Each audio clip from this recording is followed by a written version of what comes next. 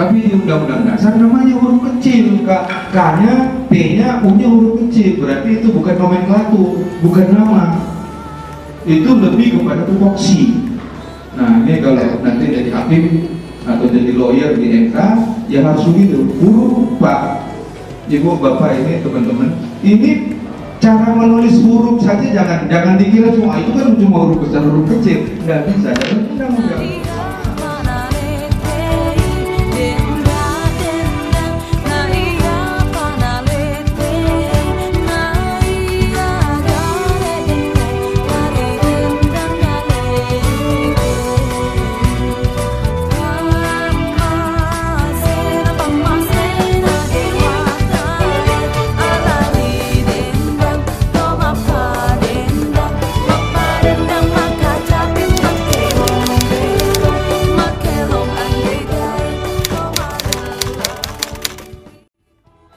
Assalamualaikum warahmatullahi wabarakatuh.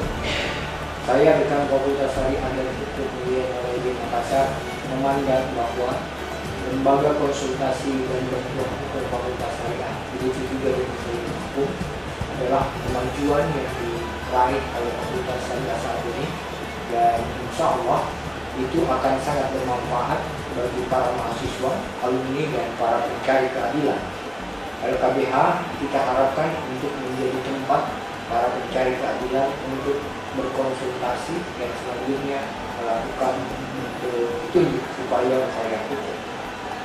Saya kira mudah-mudahan uh, semua mahasiswa, alumni dan dosen, begitu juga para uh, penggiat hukum itu dapat memanfaatkan hukum dan lembaga konsultasi dan fakultas syariah dan saya mengucapkan selamat datang kepada para peserta yang akan berapat kerja hari ini. Para alumni Fakultas Syariah Hukum yang akan melakukan rapat kerja sehari di Hotel Laris Hotel Alauddin ini. Mudah-mudahan dapat melahirkan program-program yang bersinergi dengan apa yang telah diraih oleh Fakultas Syariah ini.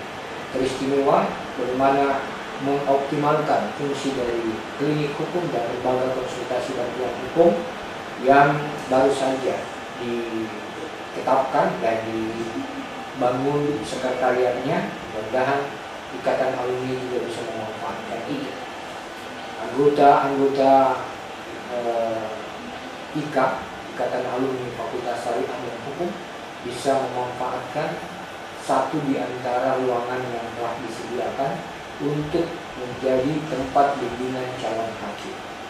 Sekali lagi saya mengucapkan selamat berrapat kerja khusus kepada para pengurus Ikatan Alumni Fakultas Syariah Hukum dan kepada angkatan 81 yang hari ini bermaksud untuk melakukan temukangan di BIMBI.